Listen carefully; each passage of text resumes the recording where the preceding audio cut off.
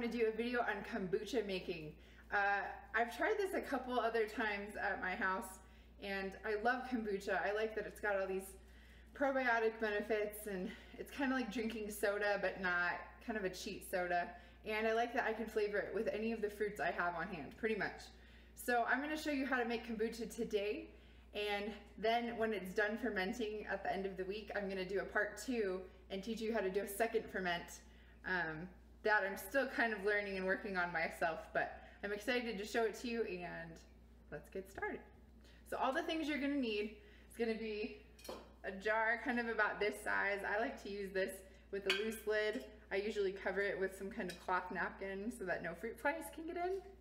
And then your, your Booch starter is just gonna be a bottle of store-bought original flavored kombucha. I like this brand because it's a pretty, it's a pretty decent strain of probiotics. So I, I haven't had a problem yet with growing a mother or a SCOBY from this guy. I have had my SCOBYs die a couple of times and I think that's just manufacturer error. So you need your bottle of kombucha. We're gonna use um, just plain black tea. Um, I got this at Sprouts. It's organic black tea a whole bunch of sugar. Now, if you're a little bit freaky on the sugar thing, as I have tended to be in the past, fear not, because the sugar actually ferments out of the drink. When you have your finished prod product of kombucha, the sugar content is actually very low because all of the good bacteria has eaten that away and fermented because of it. I'm gonna make a batch of sweet tea and I like to use about six tea bags, six black tea bags, six cups of water, and I kind of just do this with the sugar.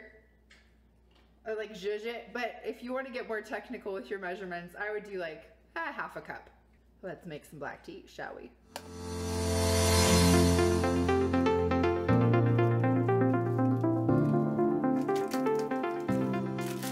Okay, so while that's boiling, you kind of just want to get it to a good simmer, good boil, so all that sugar really dissolves in the tea. Gonna just explain to you why I really like to drink kombucha. So if you're trying to kick a soda habit or even just a sugar habit for that matter, and you're really gravitating towards those sugary coffees, those sugary drinks, then I would say kombucha is for you. Now there is a bit, a bit of like a, well I can't say ick factor because that's not right, but it does taste a tiny bit like vinegar and if you over ferment it, it can really taste like vinegar so you just gotta be careful on how many days you are letting it brew.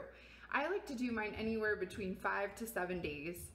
And by the fifth day, you can kind of taste it and really taste the carbonation and see that, okay, this is fermented enough. If you go past that, and I have given it just a few days because I didn't have the time to, you know, get to bottling it. You get to the fifth day, you really taste that carbonation, you know it's good to go. And it is kind of based on taste. This isn't like, it's kind of like a science, but then like not. So let me show you the bottles I use. So I've actually just saved these over time. I keep the lids and this is from my two prior attempts at making my own, sco my own SCOBY. And what a SCOBY is, if you've never heard of the term, or some people call it a mother, it's kind of a colonization of bacteria and cells. And it sounds nasty and it kind of looks nasty, like, I'm not gonna lie. An alien, like, my husband doesn't really let me take it out of the cupboard. I mean, he's nice, don't get me wrong. He just doesn't want to see it. um, you should also know for all you home brewers out there, you home makers of probiotics, that kombucha cannot be brewed next to a sourdough starter. So just so you know, tip for the wise, don't do that.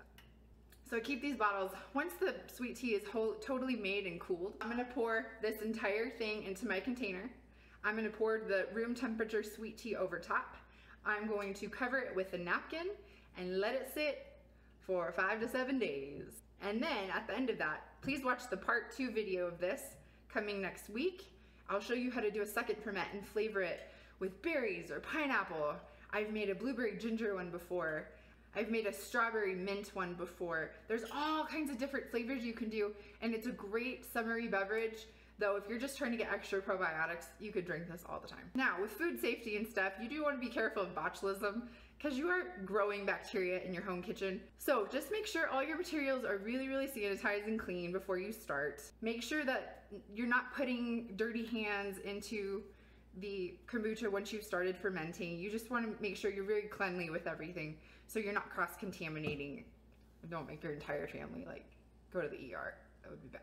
Once you have your sweet tea and your kombucha poured into your container, you've waited your five to seven days, it's gonna look something like this. And then, like I said, for the part two video coming up, go ahead and watch that so you can see how we do a second ferment if you want to flavor your kombucha. On that note, go get messy, have fun, learn, and I'll see you again next time.